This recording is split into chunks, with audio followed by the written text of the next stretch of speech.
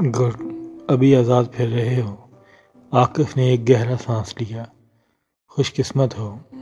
सलार ने जवाब में कुछ नहीं कहा। आकिफ ने एक बात को ग्लू कंपार्टमेंट खोलकर अंदर से कैसे निकालना चाहिए उसका ध्यान ज़रा भटका। और कैसे निकालते निकालते ग्लू कंपार्टमेंट से बहुत सी चीज़ें सलार की गोद में और पैरों में आ पड़ी। To bad. आकफ ने बेख्तियार कहा। सलार झुककर चीज़ें उठाने लगा। आकफ ने गाड़ी के अंदर की लाइट जला दी। वो चीज़ों को समेट कर ग्लू कंपार्टमेंट में रखने लगा था। जब वो ठिठक कर रह गया, किसी ने उसके जिस्म में जैसे करंट सा दौड़ा दिया। ग्लू कंपार्टमेंट के कोने में इयर पड़े थे। सलार के हाथों में बेख्तियार लफ्जिश आ गई। बायां हाथ बढ़ाकर उसने उन इयर को बाहर निकाल लिया। वो अब उसकी हथेली पर गाड़ी के अंदर जलती रोशनी में चमक रहे थे। वो भी किन्नी के आलम में उसे देख रहा था। बहुत साल पहले उसने इन एयरिंग को किसी के कानों में देखा था। एक बार, दो बार, तीन बार। चौथी बार वो उन्हें अब देख रहा था। उसे कोई शुबा नहीं था। वही मामा हाशिम के एयरिंग थे। वो आँखें बंद करके कागज़ पर उनका डिज़ाइन उतार सकता था। हर पेचो खम को आकफ ने उसकी हथेली पर वो रिंग उठा लिए। किसी ने जैसे सलार का सख्ता तोड़ दिया था। आकफ इन रिंग को एक बार फिर ग्लू कंपार्टमेंट में रख रहा था। ये एयर रिंग्स, वो अटकते हुए बोला, ये तुम्हारी बीवी के हैं? सलार ने अपने सवाल को मुकम्मल किया। बीवी के? आकफ हंसा। कम ऑन यार, बीवी के होते हुए मैं यहाँ रखता। सालार पलकें झपकाए बगैर उसे देखता रहा। फिर उसने सरसरी आवाज़ में कहा? यार एक गर्लफ्रेंड मेरे पिछली रात साथ थी, मेरे, ये रिंग मेरे बेडरूम में छोड़ गई। कुछ एमरजेंसी में उसे जाना पड़ा, क्योंकि रूहा वापस आ गई थी। मैं ये इयरिंग लाकर गाड़ी में रख दिए, क्योंकि आज मेरा उसकी तरफ़ जाने का इरादा है। आकफ बड़ी बेतकली से उसे बता रहा था। गर्लफ्रेंड सालार के हल्क में जैसे फंदा लगा। हाँ गर्लफ्रेंड रेड लाइट एरिया की ही एक लड़की है। अभी तो डिफेंस में शिफ्ट हो गई है। क्या? क्या नाम है उसका? इमामा। रेड लाइट एरिया की लड़की तो कभी नहीं हो सकती। यकीनन मुझे गलत फहमी हुई है। उसने आकफ को देखते हुए सोचा, सनोबर। आकफ ने उसका नाम बताया। सलाह ने चेहरा मोड़कर हाथ में पकड़ी हुई चीज़ें ग्लू कंपार्टमेंट में रखकर उसे बंद कर दिया। उसे वाकई गलत फहमी हुई थी। आकफ गाड़ी की लाइट ऑफ़ कर चुका था। सीट की पुश से टेक लगाकर सलार ने गहरा सांस लिया। मगर ये उसका असली नाम नहीं है। आकफ ने बात जारी रखी। असली नाम उसका इमामा है। सलार के कानों में कोई धमाका हुआ था या फिर पिघला हुआ शीशा जो किसी ने उसके कानों में अंडेल दिया था। आकफ अब स्टेरिंग पर थोड़ा आगे झुके हुए होंठों में दबाकर सिगरेट लाइटर जला रहा था। तुमने तुमने क्या कहा? सलार की आवाज़ में लग्जर सी। क्या कहा? आकफ ने सिगरेट का कश लेते हुए कहा, नाम बता रहे तुम उसका? हाँ इमामा, तुम जानते हो उसे? आकफ ने अजीब सी मुस्कुराहट के साथ सलार को देखा। खिड़की का शीशा अब उसने खोल दिया था। सलार यक टक उसे देखता रहा। यूँ जैसे वाकिफ को पहली बार देख रहा था। एयरिंग अब उसकी मुट्ठी की गिरफ्त में थे। मैं क्या पूछ रहा हूँ यार? तुम जानते हो उसे? आकफ ने होंठों से सिगरेट उंगलियों में मुंतकिल करते हुए कहा, मैं मैं सालार ने कुछ बोलने की कोशिश की, अपनी आवाज़ से किसी खाई से आते हुए महसूस हुई। रेड लाइट एरिया में वो आखिरी जगह थी, जहाँ उसने कभी इमामा के होने का तस्वर किया था। गाड़ी के अंदर चलते जाने वाली रोशनी में आकफ ने बहुत गौर से देखा, उसके जर्द पड़ते हुए चेहरे को उसकी हाथ की बंद मुट्ठी को, उसके पाते होंठों को, उसके बेरब्त और बेमानी लफ्ज़ों को आकर मुस्कुरा दिया। उसने उसके कंधे पर तसल्ली आमेज़ अंदाज में झपकी दी। डोंट वरी यार, क्यों घबरा रहे हो? वो सिर्फ़ गर्लफ्रेंड है मेरी। अगर तुम्हारे और उसके दरमियान में कुछ है तो कोई बात नहीं। हम तो पहले ही बहुत कुछ शेयर कर लिया करते थे। याद है ना तुम्हें? आकफ ने कह कल आया फिर उसने बारूद में तीली फेंकी। ये तो फिर एक लड़की है। माल रोड पर कितना रश था। आकफ कितनी बार गाड़ी से गाड़ी चला रहा था। इन दो सवालों के साथ साथ सलार ने यह भी नहीं सोचा कि स्टेरिंग पर मौजूद शख्स पर झपटने की सूरत में खुद उसके साथ क्या हो सकता था। उसने पलक झपकते ही आकिफ को गले से पकड़ लिया। आकिफ का पाँव बेख्तियार ब्रेक पर आया। गाड़ी एक झटके से रुकी। वो दोनों पूरी कुत से डैशबोर्ड से टकराई। सलार ने उसके कॉलर को नहीं छोड़ा। आकिफ हवास बाख्ती के आलम में चिल्लाया, क्या कर रहे हो तुम? उसने सलार के हाथों से अपना गला छुड़ाने की कोशिश में उसे दूर हटाने की कोशिश की। पागल हो गए how dare you talk light type Salaar बहुत गुर्राया। उसके हाथ में एक बार फिर आके गर्दन पर थे। आकफ का सांस रुकने लगा था। उसने कुछ गुस्से और हवास बाख्ती के आलम में ही सलार के मुँह पर मुक्का मारा। सलार बेख्तियार झटका खाकर पीछे हटा। उसके दोनों हाथों पर आकफ के पीछे मौजूद गाड़ियाँ हार्न पर हार्न दे रही थीं।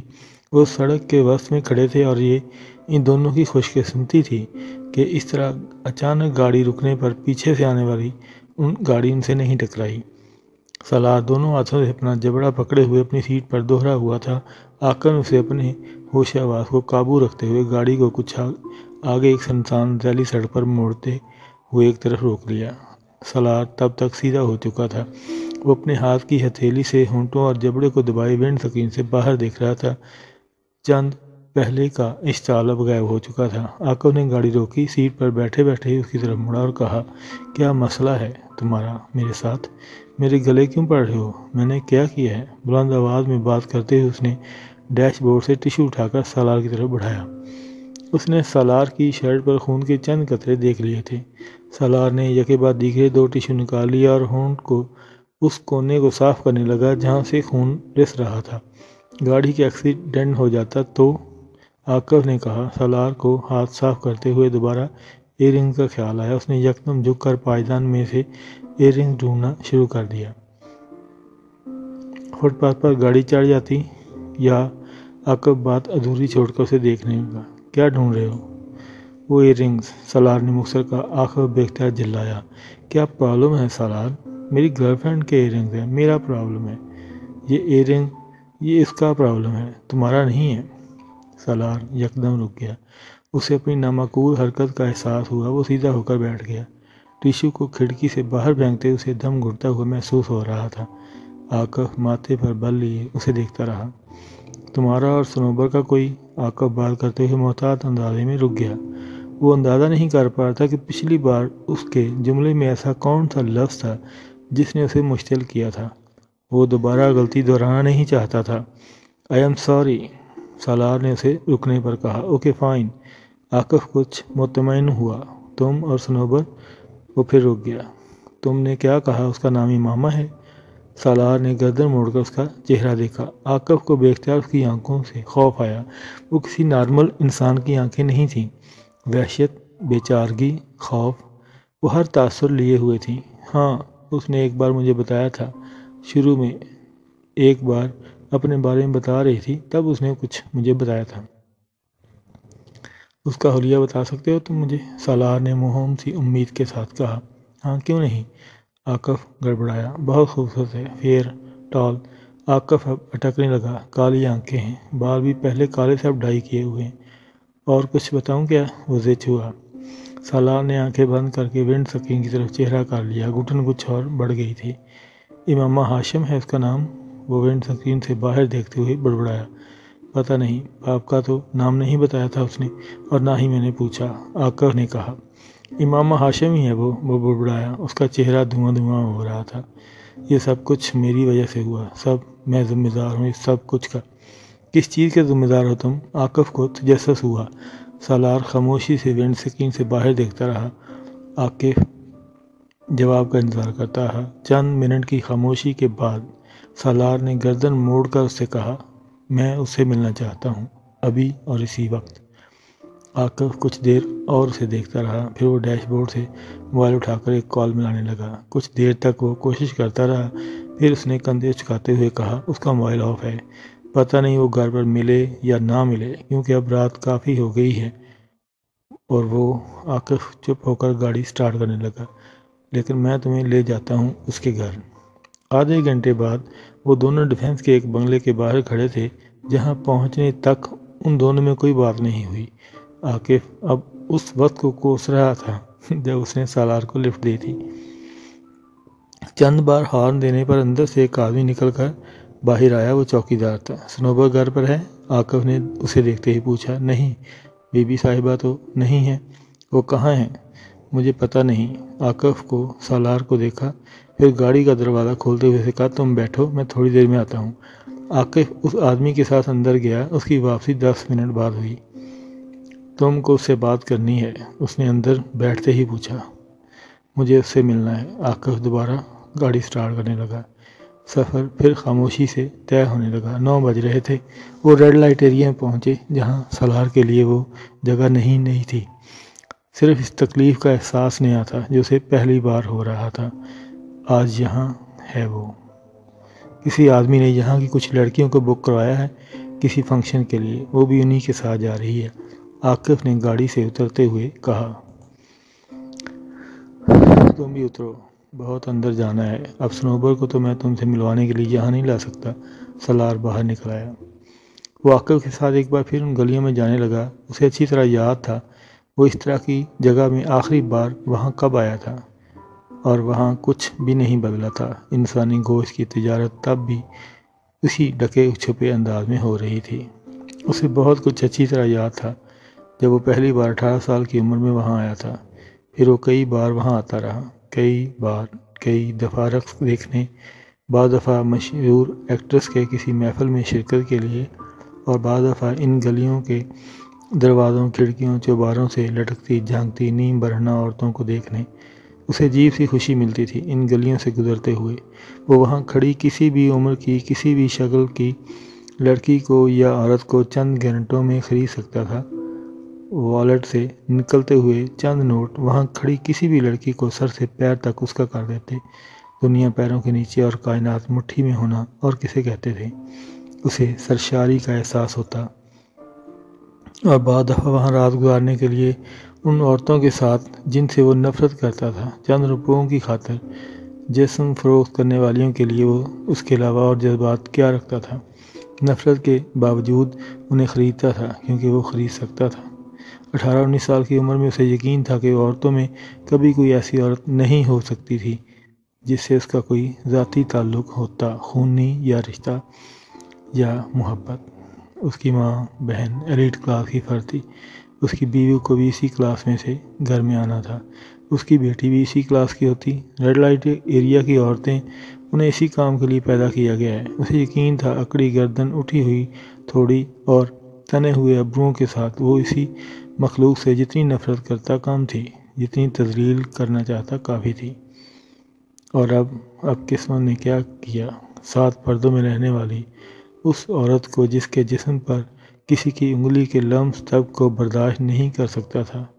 उसे उस बाज़ार में फेंक दिया गया था। उससे चंद कदम आगे वो शख्स चल रहा था जो उसका गाहक था और सलार सिकंदर ज़ुबान खोलने के काबिल भी नहीं था। आवाज़ बुलंद नहीं कर सकता था। शिकवा नहीं कर सकता था। वो किसी से क्या कहता?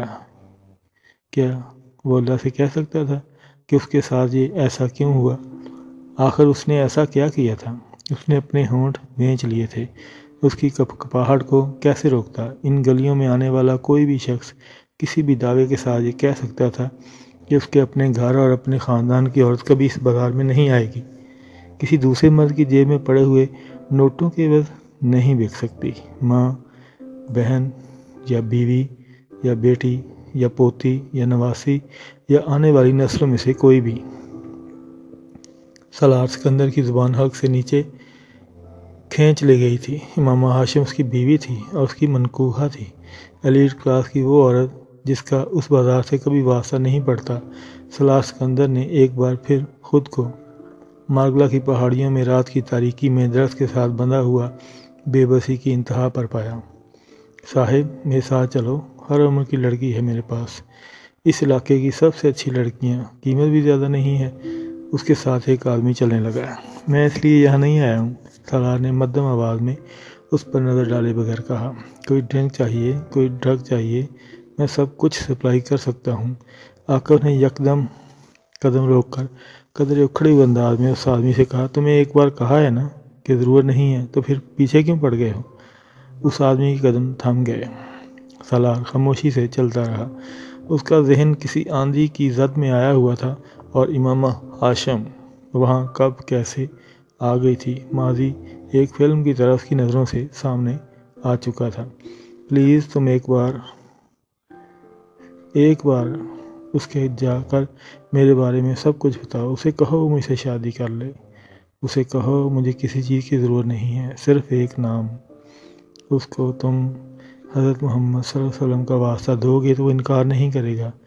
वो इतनी मोहब्बत करता है, हजूर वसल्लम से। उसने बहुत साल पहले अपने बेड पर नीम दराज चिप्स खाते हुए मोबाइल फ़ोन पर बड़े इतमान के साथ उसे बिलकते सुना था।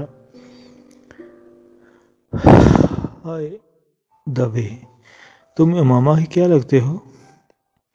मैं मैं और इमामा बहुत गहरे और पुराने फ्रेंड्स हैं दलाल अंसर के माथे पर बल पड़ गए थे। सलार ने अजीब सी सरशारी महसूस की। जलाल उस वक्त इमामा और उसके बारे में क्या सोच रहा होगा? वो अच्छी तरह अंदाज़ा कर सकता था। उसे जाकर साफ़ साफ़ कह दो कि मैं उसे शादी नहीं करूँगा।